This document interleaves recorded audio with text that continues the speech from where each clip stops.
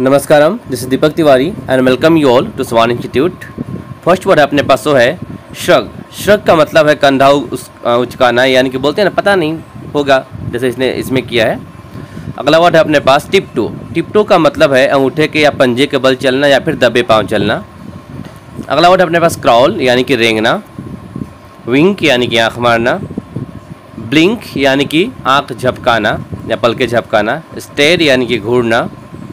अगला वर्ड अपने पास node node का मतलब है हाँ में सिर हिलाना. ऊपर नीचे करते हैं ना खाना खाओगे तो ऊपर नीचे से सर करते हैं. दैट इज़ कॉल्ड नोड और अगला है शेक शेक का मतलब है सर हिलाना लेकिन नाक के सेंस में, दाएँ बाएँ करना. अगला वर्ड अपने पास वो है गेस्चर गेस्चर का मतलब है इशारा करना. जैसे इस तरह से हम करते हैं ना गेस्चर अगला वर्ड अपने पास स्ट्रोक स्ट्रोक का मतलब होता है सहलाना. अगला वर्ड है वेब यानी कि हाथ हिलाना. हाय बाय के जो हाथ हिलाते हैं डैट वन अगला वर्ड है फ्लिक यानी कि झटका देना. जैसे यहाँ पे देख रहे हैं फ्लिक करके फेंक रहे हैं. क्रिकेटिंग वर्ड भी होता है फ्लिक फॉर एग्ज़ाम्पल बैटिंग करते हुए अचानक से जो झटका देते हैं ना डेट इज़ कॉल बल्ले से जो मारते हैं डेट इज़ कॉल फ्लिक। अगला वर्ड है शेक हैंड शेक यानी कि हाथ मिलाना।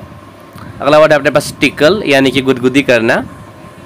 पिंच, यानी कि च्यूटी काटना, नोचना, पिंच च्यूटी काटना। नोचने को उसे बोलते हैं पोक आउट पोक आउट का मतलब होता है नोच लेना। या फिर एक और होता है टिंच टिंच का मतलब भी होता है नोचना। अगला वर्ड अपने पास प्रिक प्रिक का मतलब है चुभाना। जैसे कि सुई वगैरह चुभा देना नीरस चुभा देना जैसे यहाँ पे है कि ब्लड चेक करने के लिए से क्या कहता है प्रिक किया जाता है। अगला वर्ड है रब, यानी कि रगड़ना।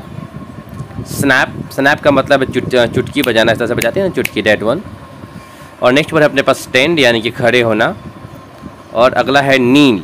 इसको किए साइलेंट होता से बोलते हैं नील, यानी घुटने के बल बैठना। चाहे एक घुटने के बल बैठना या फिर दोनों पे। दोनों में हम नील ही बोलते हैं।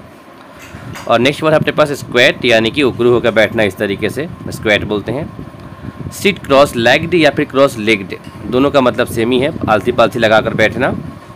और अगला अपने पास ट्रेडल यानी कि पैरों को फैला के खड़ा होना या फिर बैठना इस तरीके से, जो आज तक इमेज में देख पा रहे हैं। और अगला वर्ड अपने पास लीन लीन का मतलब है किसी की चीज़ के सहारे झुकना, टिकना। जैसे लीन अगेंस्ट द डोर दरवाजे के सहारे खड़े होना। मेट्रो में भी ये लाइन सुना होगा आपने। कि don't lean against the doors अगला वर्ड है बाइट यानी कि काटना। और अगला वर्ड है लाई लाई का मतलब है लेटना या फिर झूठ बोलना भी होता है। और लिफ्ट का मतलब होता है उठाना, कोई वेट की चीज़। पैट का मतलब पीठ थप थपाना वगैरह। So I am going to finish my video here I would see you all in next video till there bye and take care